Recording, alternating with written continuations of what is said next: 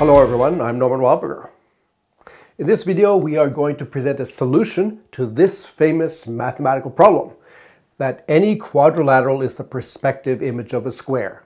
So we've been preparing for that by reviewing some interesting and uh, important topics in projective geometry. And today we're going to present a solution. And the solution I'm going to present is due to uh, three mathematicians, Annalisa Crannell, Marc Frantz, and Fukimo Futamura. The paper is The Image of a Square, which appeared in 2017 in the monthly, and we're going to be following their construction.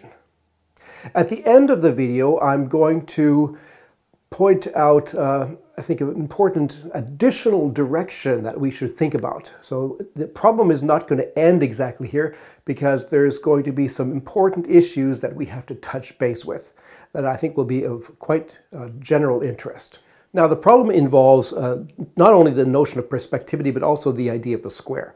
The idea of a square really belongs a little bit more to affine geometry than it does to projective geometry.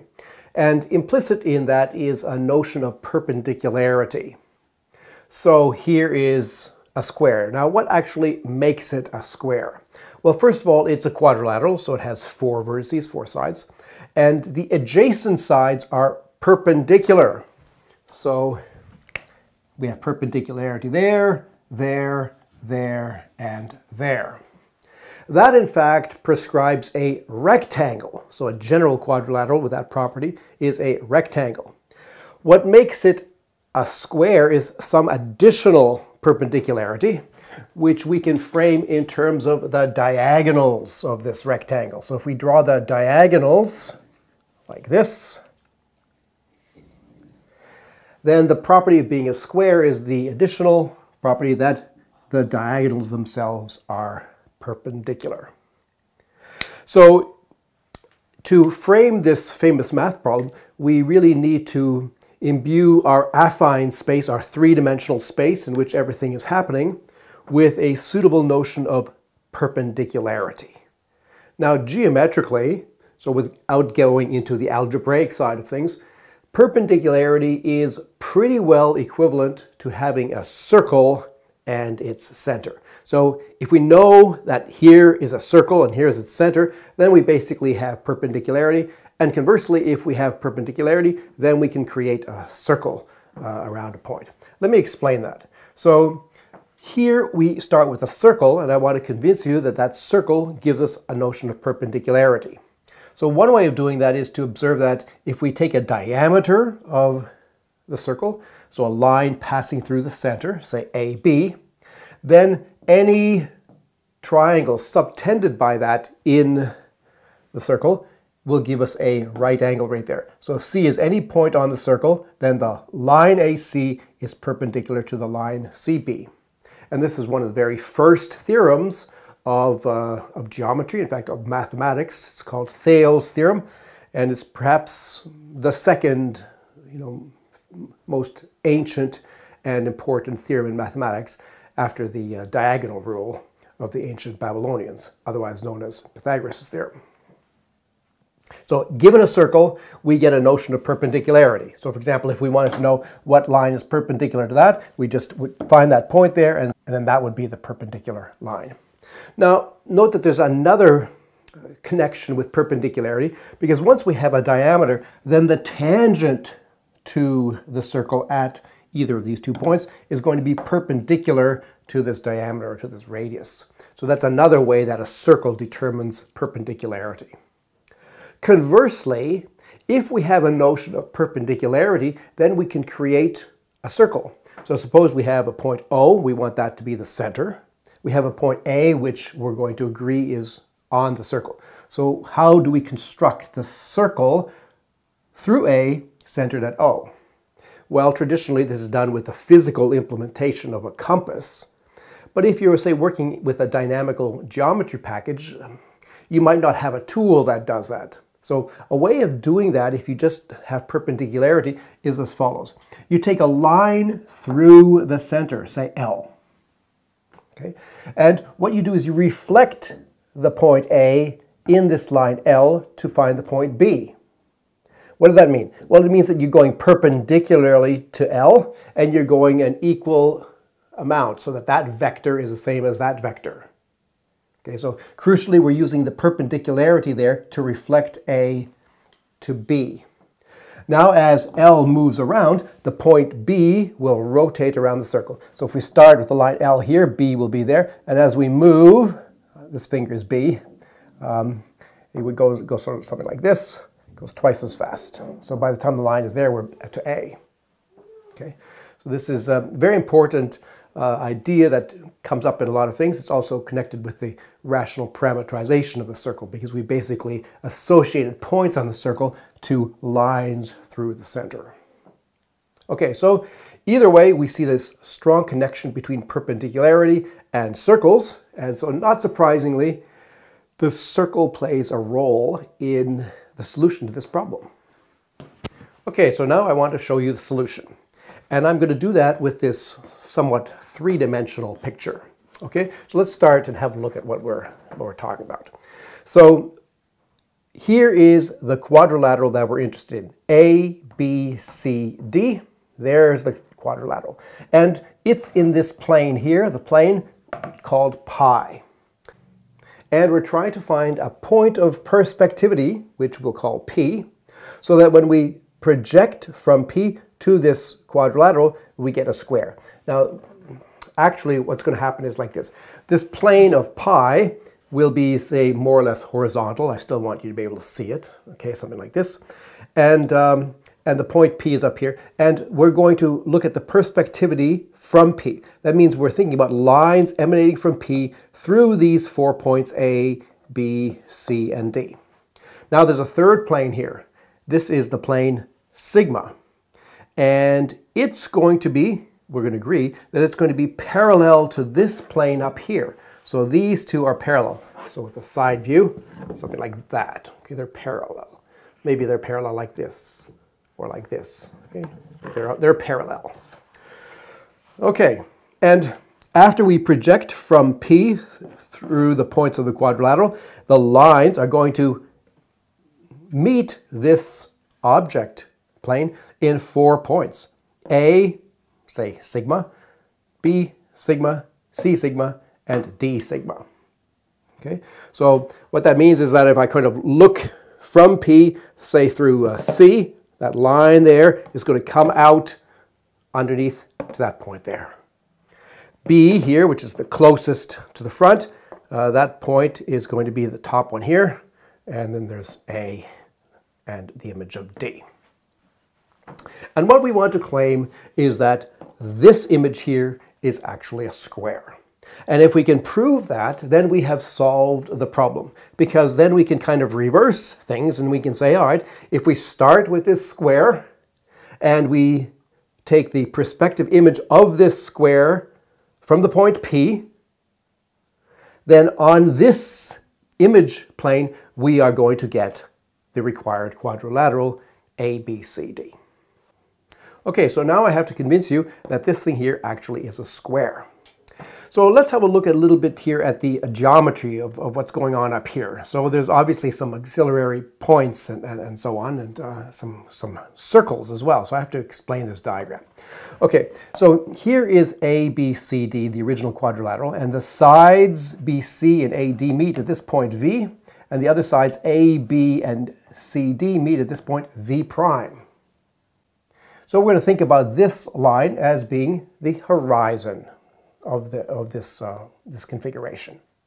Now, the other points, W and W prime, are where the two diagonals, AC and BD, meet this horizon. So we have these four points on the horizon. And what do we know about those four points? Well, we know that uh, they form a harmonic range. There's a special relationship between the, the vectors uh, formed by these four points. And what that means is that the cross ratio of the four points is minus one. Okay? And geometrically what that means is that say V prime divides W W prime internally in the same ratio that V divides it externally. So what is this ratio to this ratio? Maybe it's sort of like 3 to 2. Okay, this is maybe a one and a half times that. So 3 to 2. And what about this thing here? Well, this to this is also about 3 to 2. 3 to 2. Right? So that's the meaning of the being the uh, being a harmonic range cross ratio equals minus 1. Now, where do these circles come from? Well, these circles are constructed to have diameters, first of all, v, v prime. So this circle here is a circle built on this diameter from v to v prime. And this circle here is the circle built on the diameter from w to w prime. And our point P, our point of perspectivity, is the meet of these two circles. Actually, there's another meet downstairs, but we don't care. Let's just use that one there. Okay, so now let's um, look at the consequences of the way we've set things up in terms of the perspectivity from this quadrilateral to this quadrilateral. First of all, because these two planes are parallel, okay, this line here, that would be like the axis line, is going to be parallel to uh, this horizon or vanishing line. All right, so now let's have a look at the relationship between this quadrilateral and this image quadrilateral under this perspectivity from P. The first thing we're going to look at, say, are these two sides of the quadrilateral, AD and BC. So the image can be the line through AD, or A sigma, D sigma, that line there, and this one here, this line here from B sigma to C sigma. Okay. Now, these two lines up here meet at the point V. And V happens to be in the plane of the board here, which is parallel, by agreement, to our object plane sigma. That means that the image of V under this perspectivity will actually not be a finite point. This line does not meet this plane in a finite point but it does meet it at infinity because it represents the infinite direction. Okay. And what infinite direction is it? Well, it's just the direction that we get by taking that vector there and translating it to here. You can see my diagram is not very good. Uh, this line here and this line here should actually be parallel, so it should be they should be more uh, like this. This thing should be rotated a little bit over. Okay, but um, the point is that this line and this line are going to meet at infinity because the image of their meet up here is on the line at infinity. That tells us that this line and this line are actually parallel in this plane. Similarly, the line AB here, line CD here meet at this point, V prime, which again, its image is going to be at infinity in this plane. And that's telling us that the line from A sigma to B sigma and from C sigma to D sigma, these two sides are also going to be parallel. That proves that this object is a parallelogram. See? All right, so we've obtained that from uh, the fact essentially that V and V prime are um, in, this, uh, in this vanishing line. Okay, now what about the perpendicular properties? So let's have a look at the point P being on this circle. The fact that P is on this circle means that these two directions, this direction here and this direction here, are perpendicular. But this direction here is going to be the same as this direction here and same as this direction here. And this direction here is going to be the same as this direction here and this direction here. Because, for example, when you project v from p, you're getting the point which is, you know, infinitely in that direction. So it specifies this direction. When we translate that down to here, that's going to be, if I draw on this thing correctly, uh, the direction of these lines here. So these two lines here being perpendicular means that these lines here are perpendicular. This is perpendicular to that, this is perpendicular to that, etc. These two directions are perpendicular to these two directions because they're exactly the same as these two directions. Great. Okay, um, what else? Well, the other point is that P is on this circle.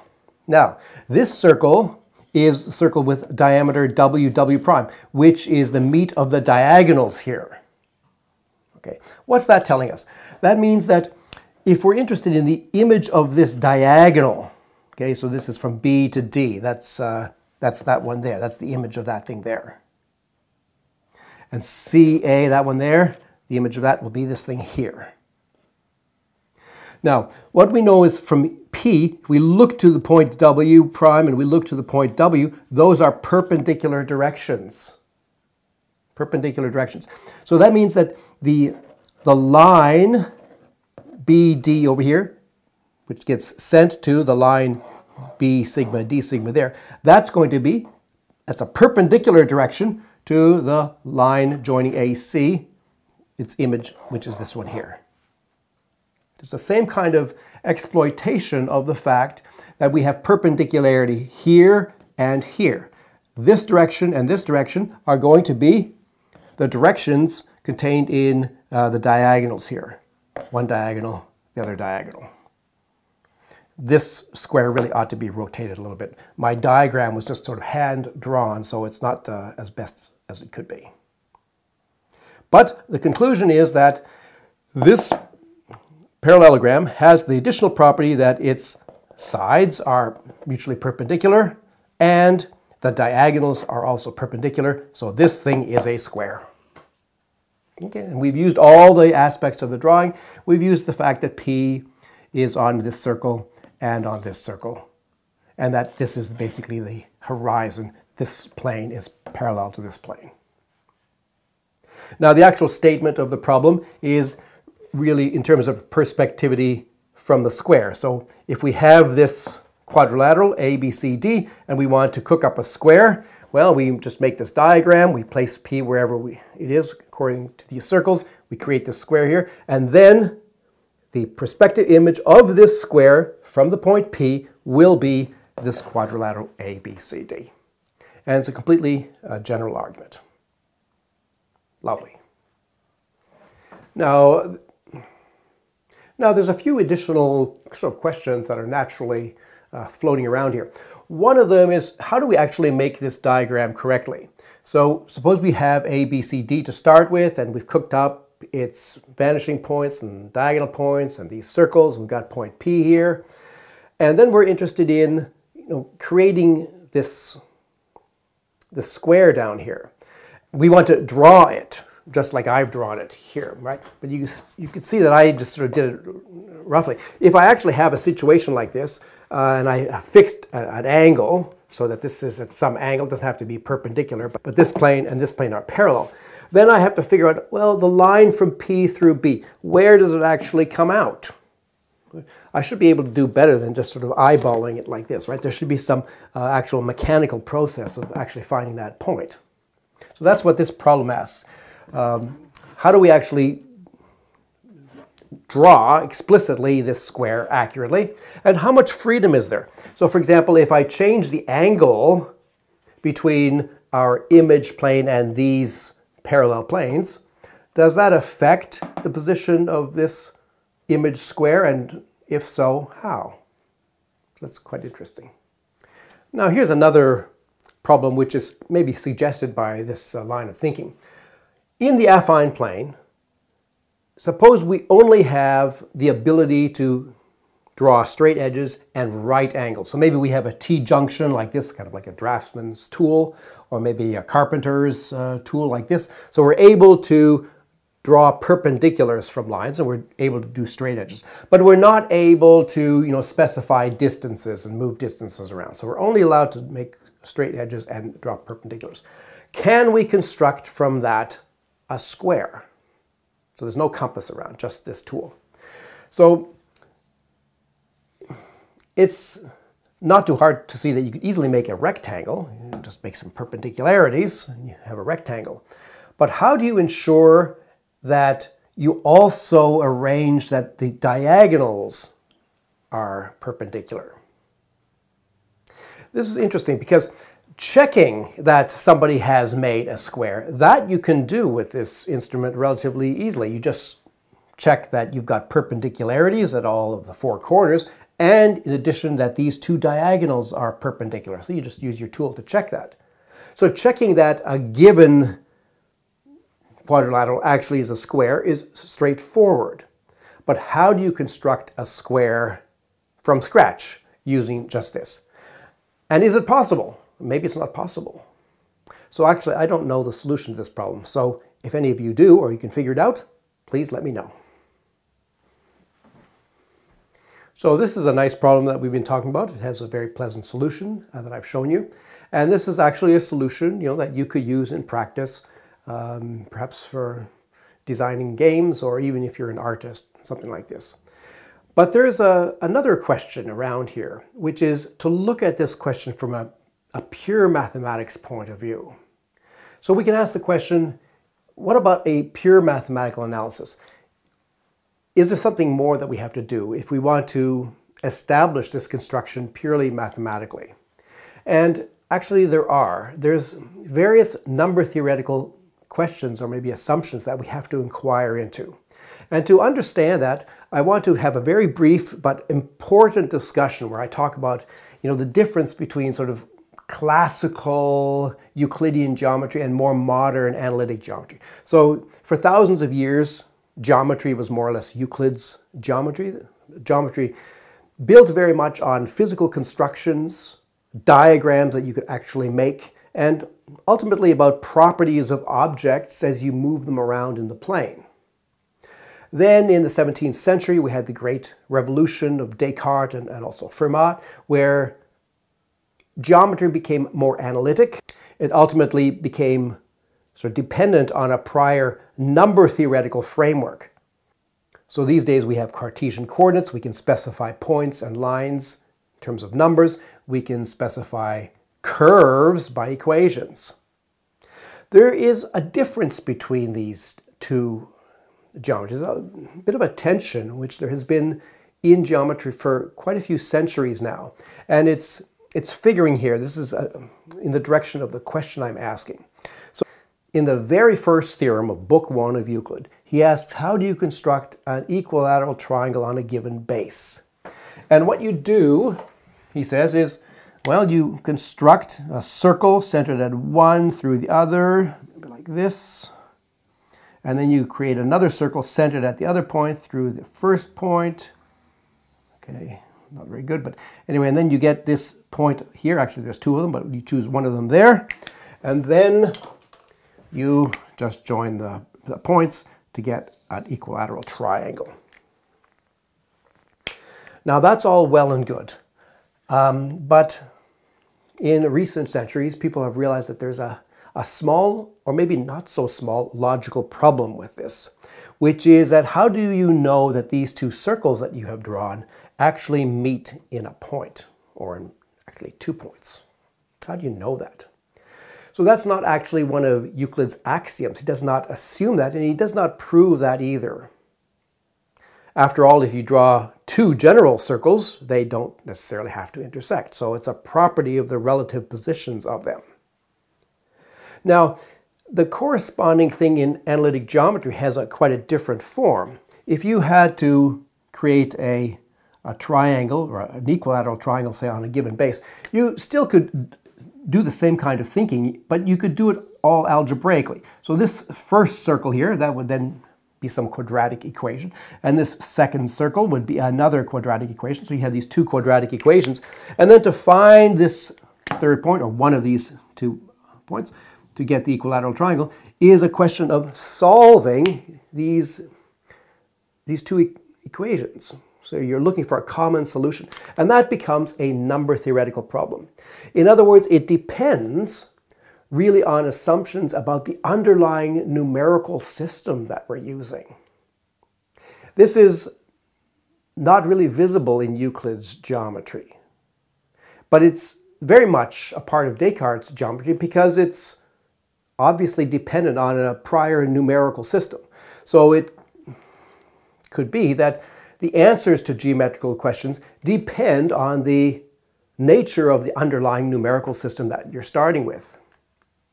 Now, this is becoming very much more in focus in recent decades, where people have been looking more and more at geometries over finite fields, where you basically take the Cartesian point of view and say, okay, what happens if we replace the rational numbers or the real numbers or the complex numbers, whatever system that we're using here, with a finite field?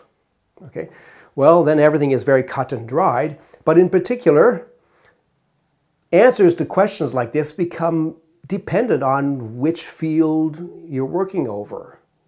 Okay, so the uh, the kind of let's say geometrical intuition that most undergraduates have that you, you have some curve like this given by some equation and you have some other curve given by some other equation that if it appears as if they have solutions then they do have common solutions that is more open to question now because it's really a, a, an issue of what the underlying field is. Okay, now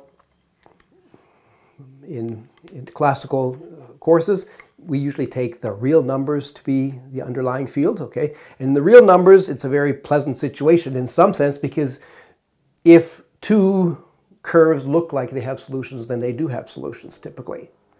But unfortunately, this requires a disconnect with our computational reality. So our computers cannot verify what we're doing here, really. But I, of course, am highly skeptical about the validity of the arithmetic of real numbers. So I would like to, you know, to look at these things from a more, uh, a bigger point of view and ask, what happens if you look at a, a general field? You know, what can we say over a general field? Well, then all these kinds of questions uh, have a number theoretical aspect. And in particular, the question that we've been looking at, the perspective image of a square, will have a number theoretical aspect because crucially, exactly this kind of diagram was involved, as you saw, right? We had these two circles and we were intersecting them to find the point of perspectivity. So it's legitimate for us to ask, well, under what conditions can we actually ensure that such a point of perspectivity actually does exist in the numerical system that we've chosen, whatever it is? So that both enlarges our problem and brings in a number theoretical aspect and requires some more delicate analysis. We'll be looking at that in our next video. I hope you'll join me for that. I'm Norman Wildberger. Thanks for listening.